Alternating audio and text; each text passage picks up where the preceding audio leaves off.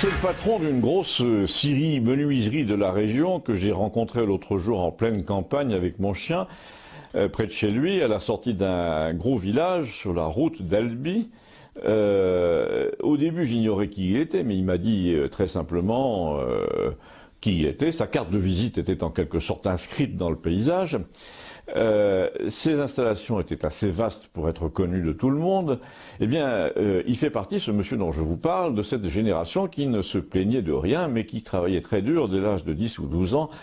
Euh, donc, dans une génération favorable aux entrepreneurs, quand même, hein, celle de l'après-guerre, il avait fondé ce petit empire régional. Il avait connu un peu tous les entrepreneurs de son rang, puis peu à peu il s'était flatté de les connaître euh, en soulignant qu'il était lui resté bien modeste en comparaison d'un Pierre Fabre par exemple.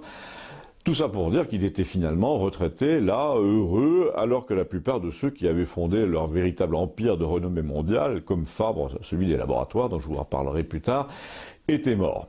Euh, ensuite, il m'a parlé de ses fils qui avaient repris son affaire et qui vivaient le, portable à la main.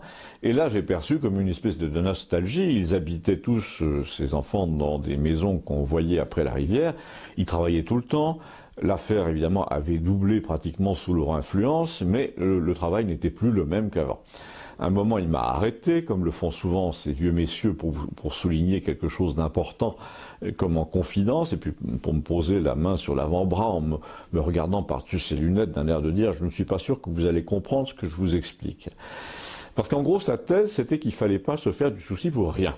Et que même les sujets de tracas les plus importants ne valaient pas de perdre une heure de sommeil, surtout à nos âges, a-t-il dit. Mais il a ajouté, vous êtes jeune encore. Et en effet, quand même, il avait 20 ans de plus que moi.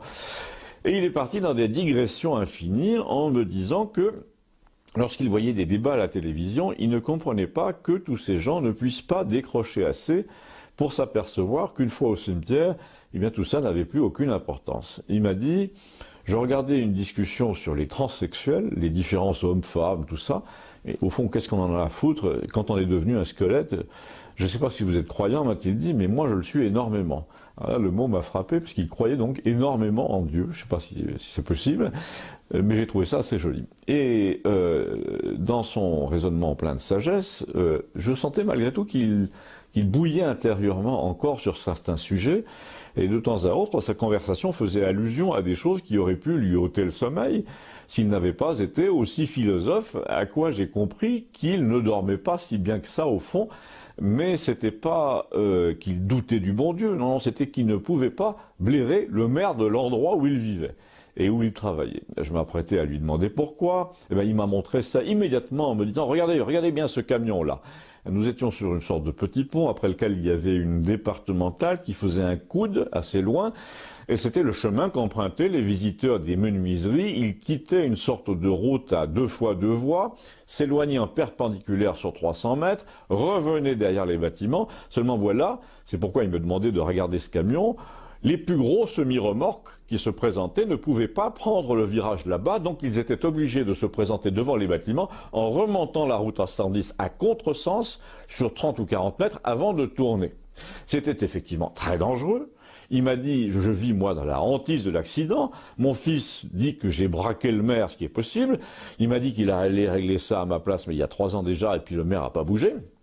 On dirait qu'il fait exprès de refuser les travaux d'aménagement du virage là-bas, juste pour m'emmerder. Alors je connaissais la réputation de ce maire et forcé de constater que c'était tout à fait dans son genre. Euh, l'entreprise versait pourtant à la commune dans les 16 000 euros de foncier chaque année, mais comme le maire était d'une vieille famille communiste, l'attitude générale à l'égard du gars du pays qui a fait fortune, c'était ça lui fera les pieds. Sauf que là, il faut quand même prévoir qu'un jour ou l'autre, une famille entière va s'encastrer sous l'un des camions, c'est déjà écrit, et les avocats vont se battre pendant dix ans pour savoir qui avait raison. Euh, mon vieux monsieur, monsieur pardon, a fait constater tout ça par huissier, il a fait consigner toutes les lettres recommandées qu'il a envoyées à la mairie. Il répète je m'en fous, je serai plus là, mais en fait c'est tout de même une obsession secrète pour lui.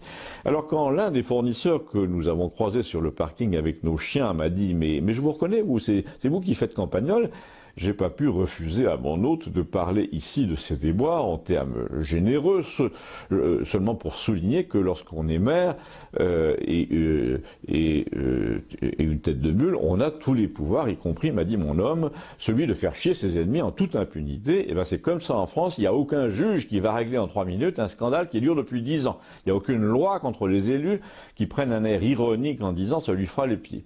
Et les gendarmes ferment les yeux depuis dix ans, pareil, me dit-il. D'ailleurs, son gendre, au maire, est colonel.